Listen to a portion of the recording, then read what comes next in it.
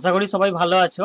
আজ তোমাদের একটু রিমেডিয়াল ক্লাস করাবো। যে একজন আমাকে বলেছিল যে, স্যার টাইমিং ডায়াগ্রামটা আরেকবার দেখাতে।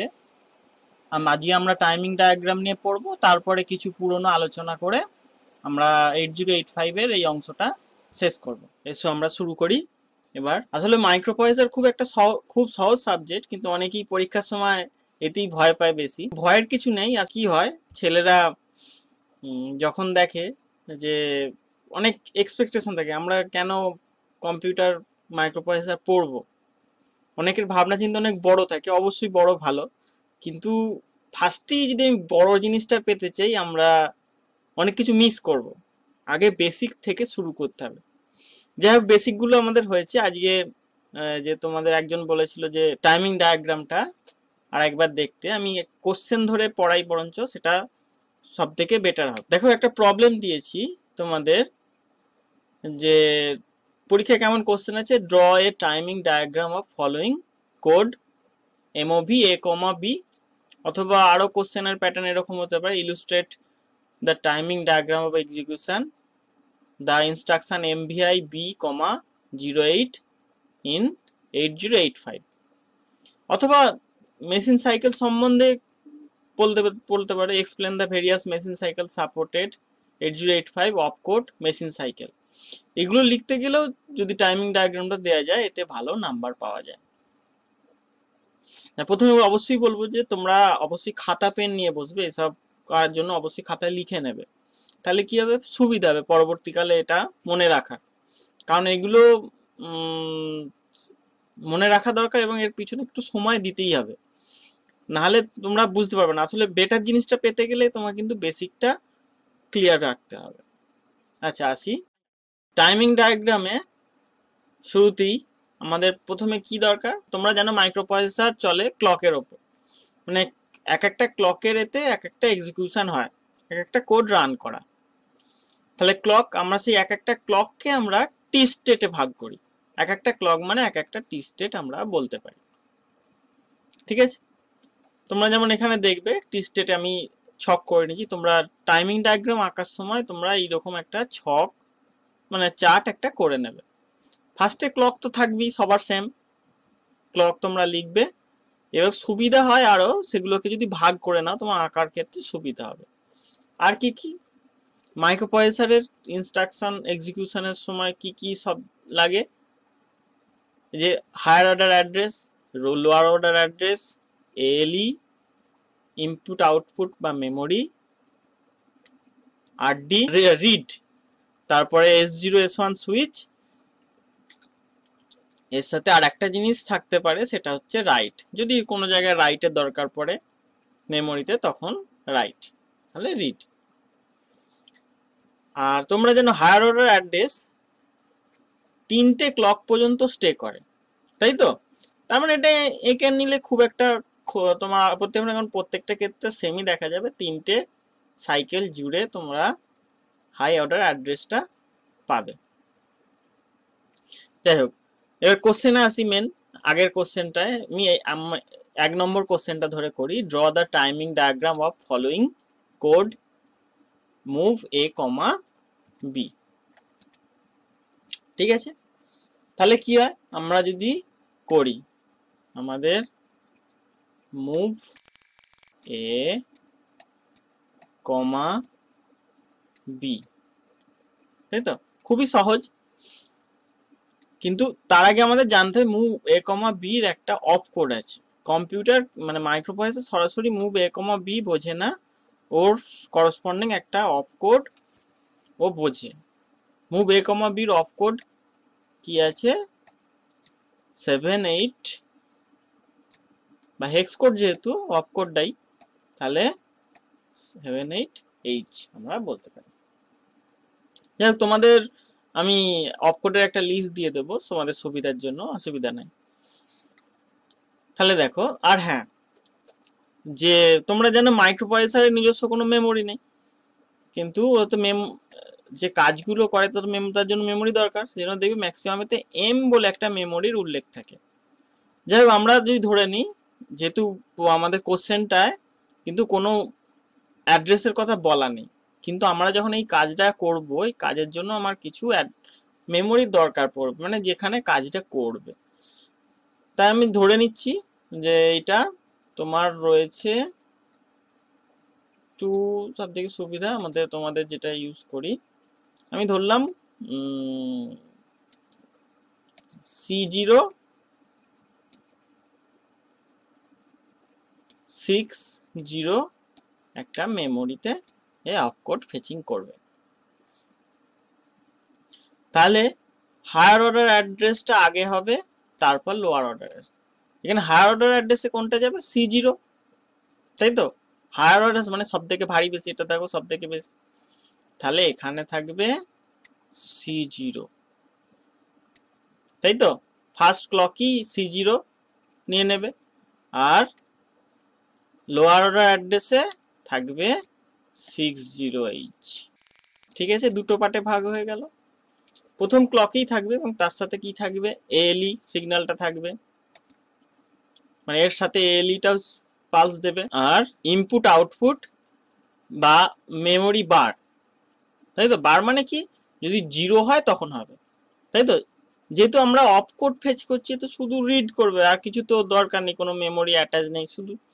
তাহলে এটা, তাহলে বার মানে জিরো হলে এক মেমোরি অ্যাক্টিভ হবে, তাহলে মেমোরি দরকার, তাহলে জিরো তার মানে এটা ডাউন হচ্ছে, নিচে। বুঝতে পারলে? তারপরে রিড সিগন্যাল এখন তো দরকার নেই, শুধু অ্যাড্রেস দিচ্ছি আমি। তাই তো? আর যেহেতু অফকোড ফেচিং হবে মানে এটা কোনো অন্য কোনো কাজ নেই, শুধু অফকোড ফেচিং তাই এটা এস জিরো এস ওয়ান দুটোই ওয়ান হবে। তাই তো দুটো ওয়ান হবে। তাহলে আমরা আঁকার সময় কি কি আঁকলাম? ক্লক হায়ার অর্ডার অ্যাড্রেস মানে A eight to A fifteen lower order অ্যাড্রেসগুলো মানে এডি জিরো থেকে এডি এইট পর্যন্ত। সরি এডি এইট নয়, এটা এডি সেভেন হবে এডি ঠিক আছে? তারপর এএলই তারপর আইও অথবা মেমোরি তারপর রিড তারপরে সুইচ ফার্স্ট ক্লক কতক্ষণ এটা থাকবে? অনেকের মধ্যে চিন্তা যে আমি এটা কতক্ষণ পর্যন্ত আঁকবো? আমি প্রথম ক্লক পর্যন্ত এটা নেব এবং ততক্ষণ পর্যন্ত নেব যতক্ষণ এলি অন থাকবে, ততক্ষণ পর্যন্ত এই অ্যাড্রেসটা নেব। আমি তো এতখানি এঁকেছি ছবিটা। আর যেহেতু পুরোটাই মেমোরিতে কাজ মানে মেমোরিতে কাজ, আমি ইনপুট আউটপুটে কাজ করছি না এখন মানে এ কমা বি একটা এমওভি এ কমা বি তাই তো? এতে এক্সটার্নাল কোনো অ্যাড্রেস নাই। তাহলে পুরোটাই মেমোরিতে হচ্ছে। ঠিক আছে? তাহলে এর তারপরের অংশ আমি কিছুটা ফাঁকা রেখেছি। কেন? যে এই সময় যখন এএলই অফ হয়ে গেছে, সেই সময় কম, যতক্ষণ না পর্যন্ত নেক্সট কোনো সিগন্যাল আসছে, ততক্ষণ পর্যন্ত কম্পিউটার নিজের এক্সিকিউশন করে। কি করে সেটা সেটা আমাদের মাথা ব্যথার কারণ না ঠিক আছে, দেখা যাক, তারপরে দেখি। তারপরে কি হয়? তার পরে মুহূর্তে যখন আমরা দেখো আরডি বার নিচে করেছি মানে জিরো করলে অ্যাক্টিভ হয়েছে মানে আমি রিড সিগনাল দিলাম। যখনই আমি রিড সিগনাল দেব, তখন কি হবে? তখন সে অফ কোডটা ফেচ করবে। তাই তো? তাহলে এ কমা বি এর অফ কোড কি ছিল? সেভেন এইট এইট তাহলে এখানে কি থাকবে? সেভেন্টি এইট এইট কখন শুরু হচ্ছে? এই সময়টা কম্পিউটার নিজের কাজের জন্য কিছুটা রাখে। তুমি সেজন্য ডিলে হয় সামান্যতম। দেখো মেমোরি সিগন্যাল যখন রিড সিগন্যাল দিয়েছি, তারও খানিকটা পরে চালু হয়েছে। ঠিক আছে? আর এটা একটা সাইকেল জুড়েই হবে মানে একটা সাইকেলের জায়গা মতো এটা আগলি চলবে। ঠিক আছে? তাহলে এই আমার হয়ে গেল। তাহলে আমার এখানে অফ কোডটা আমি রিড করতে বললাম যে ওই অ্যাড্রেসে আমাদের অফ কোডটা। তাহলে আমার কাজ সুবিধা হয়ে গেল? প্রথম ক্লক আঁকলাম। তাই তো? যেহেতু অফ কোড করছি, চারটে, শুধুমাত্র অফ কোড কখন করছি? মানে কোনো এক্সটার্নাল সিগন্যাল নেই, শুধু এ কমা বি ভেতরেই চেঞ্জ করো। তাই তো? একটা অ্যাড্রেস নিয়েছি যে C zero eight C zero six zero অ্যাড্রেসে নেব, তাহলে প্রথমগুলো হায়ার অর্ডার অ্যাড্রেসে সেটা কটা পর্যন্ত স্টে করে? তিনটে ক্লক সাইকেল পর্যন্ত স্টে করে। ঠিক আছে? আর লোয়ার অর্ডার অ্যাড্রেসটা শুধুমাত্র একটা ক্লক পর্যন্তই এ করে, কারণ এতে তো ডেটাও যাবে। ডেটাটার জন্য তার পরে এতে এলি যখন সিগন্যাল দেওয়ার পর অফ হয়, তখনই সেটা চেঞ্জ হয়। ঠিক আছে? তারপরে আমরা কি দিলাম? অফ কোডটা। কখন দিলাম? যখন রিড সিগন্যাল অন হলো। মানে অন কখন হচ্ছে? এটা যখন জিরো হচ্ছে, তখন ওয়ান হচ্ছে। তাই তো? আর এটা জিরো আছে মানে মেমোরিতেই কাজ হচ্ছে। এটা সিমিলারলি একই থাকবে। এএলই অন ছিল, এখন জিরো হয়ে গেছে। আর এস জিরো এস ওয়ান দুটোই কি হবে? Value one. কি হবে? ভ্যালু হবে ওয়ান। বোঝা গেল? তাহলে আমাদের তিনটে স্টেজ কমপ্লিট হয়ে গেল। চার নম্বর স্টেজে কি হয়? নম্বরে এটা থাকে এক্সিকিউশন ফেস মানে মেশিন তার নিজের নিজের কাজ করে। তাই তো? তখন ইউজারের কোনো কাজ নয় মেশিন তার নিজের কাজই করে। এবং এখানে মেশিন কি করছে সেটা তো আমার জানা দরকার নেই। সেখানে এখানে আনপেসিফাইড তুমি বলতে পারো। অনেক বইতেও আছে দেখবে, কি লেখা থাকবে? আনস্পেসিফাইড আনস্পেসিফাইড তাহলে আমাদের আঁকা বুঝতে পারলে আঁকাটা খুব সহজ। বা কিছু নেই। শুধু পরপর মনে রাখবে যে ক্লক সিগন্যাল দেব। এক একটা ক্লক হচ্ছে এক একটা টাইম স্টেট তাই তো? বা টি স্টেট সেই টি স্টেটে ফার্স্টে যা তারপরে কি আঁকবো? Higher order address lower order address ALE IO অথবা এমবার আর D bar S zero S one প্রত্যেকটা ক্ষেত্রে এটা কমন মানে ম্যাক্সিমাম এতে কমন দেখতে পাই আমরা কি? যে হায়ার অর্ডার অ্যাড্রেস তিনটে টি স্টেট পর্যন্ত স্টে করে। আর এমনিতেও আমরা শুধু অ্যাড্রেস ছাড়া তো কোনো কাজ থাকে না, ও যোগ তুই থাকা অসুবিধা কি আছে? তারপরে এডি জিরো থেকে এডি সেভেন লোয়ার অর্ডার অ্যাড্রেসগুলোতে যাতে থাকে। তাই তো? এবার তার সাথে কি অন হয়? তার সাথে এইগুলো অন হয়। এএলই সিগনাল এমবার জিরো হয়, তবেই কাজ হয়। আর ডি এখানে যখন অ্যাড্রেস দিচ্ছিল, তখন তো রিড করার কোনো মানে ছিল না। সেজন্য ওয়ান ছিল। ওয়ান মানে এ তখন কাজ করেনি। এবার যখন রিড সিগন্যাল দিল, তখন কি করল? এ অফ কোডটা রিড সিগনালে পড়ল। এডি জিরোর মাধ্যমে গেল। তাই তো? কমপ্লিট হলো। আর এই চার নম্বর টি স্টেটে যেটা কাজটা সেটা আনস্পেসিফাইড মানে মেশিন তার নিজের কাজ করতে থাকল। খুব সহজ। তাই তো? খাতায় লিখে লিখে তোমার প্র্যাকটিস করবে। আর কোনো রকম অসুবিধা হলে অবশ্যই কমেন্টে জানাবে যে কোথায় প্রবলেম হচ্ছে কিংবা তোমাদের কোনো প্রশ্ন থাকলে জিজ্ঞাসা করতে পারো। তারপরে আসি।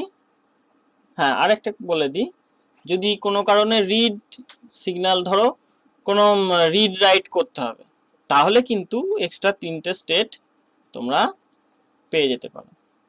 ঠিক এই রকমভাবে এরপরও হবে। অ্যাড্রেস তারপরে lower higher order address lower order address ALE signal একদম সেম থাকবে। এবার খালি শুধু রিড সিগন্যালটা কিংবা রাইট সিগন্যালটা যদি এখানে রিড সিগন্যাল পায় রিড কোডটা পাবে। আর যদি রাইট সিগন্যাল থাকে, তাহলে রাইট কোডটা এখানে লেখা হবে। সবার প্রায় সেম তাই তো? তাহলে খুব সহজ। আমরা যদি শুধু অফ কোড ফেচ করি, তাহলে আমার চারটে টি স্টেটই কমপ্লিট হয়ে গেল। তাহলে অফ কোডটা শুধুমাত্র এটা যেমন ওইতে কোনো এক্সট্রা কিছু ছিল না। শুধু অফ কোড ফেচিংয়ে আমার কমপ্লিট চারটে স্টেটে তাহলে ফার্স্টে হায়ার অ্যাড্রেস তিনটে স্টেট পর্যন্ত থাকবে। লোয়ার অ্যাড্রেস একখানাটি স্টেট পর্যন্তই থাকবে। তার সাথে থাকবে ALE signal input output memory signal তারপর রিড সিগনাল রিড যদি করে, তখন জিরো আর যদি না করে, তখন ওয়ান এখানে রিড করেনি, তাই ওয়ান যেই জিরো হয়েছে মানে রিড করছে রিড সিগনাল তখন এইটা রিড করছে। আর এই মাঝের এই ফাঁকা অংশটা হচ্ছে কম্পিউটার নিজের কাজের জন্য একটু ফাঁকা জায়গায় বা ডিলে করছে। হ্যাঁ ডিলে বলতে আরেকটা জিনিস মনে গেল, প্রত্যেকটা সামনে যে ডিলেটা রয়েছে, এটা আগেও বলেছিলাম যদিও, এটা কি মেশিন চালু হবার সঙ্গে সঙ্গে সে কাজ করে না, কিছুটা রিসেট করে বা সময় নেয়? দেখো এখানে বলে দিচ্ছি কোন, কিসে কতগুলো টি স্টেট লাগে।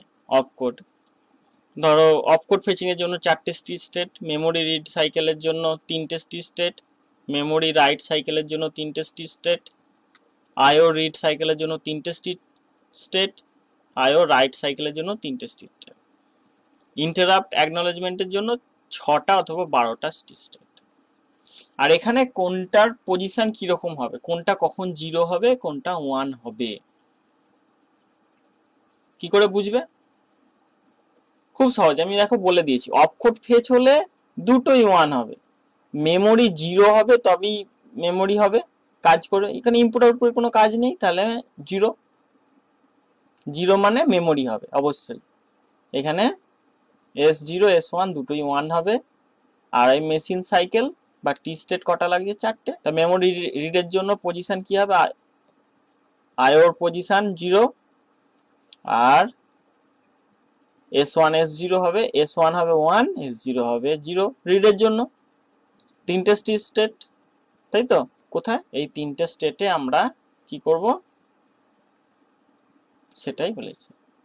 তাহলে এস জিরো এস ওয়ান দেখো এখানে। যদি রিডের জন্য হয়, এটা যদি রিড করে তখন হবে S zero one S one zero ঠিক আছে? তার মেমোরি রাইট এরকম সিমিলারলি তোমরা এটা, এগুলো সব লিখে নেবে খাতায়। হ্যাঁ আরেকটা কোশ্চেন আরেক ধরনের কোশ্চেন যেটা যদি পুরো বলে দেয়া থাকে, এটা খুব সহজ হয়। এগুলো যে draw eight zero eight five timing diagram execution of two bit instruction M VI A thirty instruction MVI A 32H load the accumulator with the data 32H store in location. Location follow কোথাও যে এখানে লোকেশানটা বলে দেওয়া আছে, দেখো আমরা যেমন সি জিরো নিয়ে নিচ্ছিলাম, এরা বলে দিয়েছে যে এই মেমোরিতেই হবে। মেশিন কোড বলে দিয়েছে, মনে না থাকলেও অসুবিধা নেই এখানে বলে দেওয়া আছে। আর এখানে এটা করে নিয়েছে। তাই তো?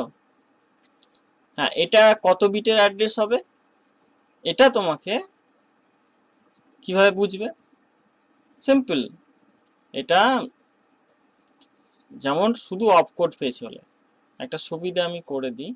ধরো কোনটা কত বিটে তোমরা বুঝবে কি করে? তাই তো? ইনস্ট্রাকশনগুলো ধরো এমও ভি আমি একটা সহজ উপায় বলে দিচ্ছি। ধরো M O V A comma B এটা দেখো, এটা বাইরের এক্সটার্নাল কোনো রকম অ্যাড্রেস কিংবা ডেটা কিছু দেয়া নেই। মেশিনের ভেতরেই হয়ে যাবে। তাহলে এইটা হবে এক বিট ধরো একটা রয়েছে M V I C comma zero eight. এখানে একটা ডেটা দেয়া আছে। তার মানে এক্সট্রা কিছু আছে একখানায়। তাই তো? তাহলে এটা হবে দুটো, কারণ এইটা হচ্ছে শুধু মেশিনের ভেতরই, অফ কোড, তার সাথে ওয়ান। তার মানে এইটা হবে দুই। আর ধরো ধরো কোনো অ্যাড্রেস দেওয়া আছে, ধরো store T A store data to accumulate store data from accumulator to address যে অ্যাড্রেস একটা দিই C double zero zero one H তাহলে এখানে দেখো এসটিএ একটা অপকোড কিন্তু অ্যাড্রেস দেখো বড়, চারটে অক্ষরে। তাহলে এখানে হবে এসটিএ একটা সি জিরো আর একটা জিরো ওয়ান আর একটা। মানে তিনটে লাগবে। ঠিক আছে? এটা মনে করে দেখো, এটা স্টোর ডেটা অ্যাড্রেসের ডেটা অ্যাড্রেস স্টোর করতে বলছে। তাহলে এটা হবে থ্রি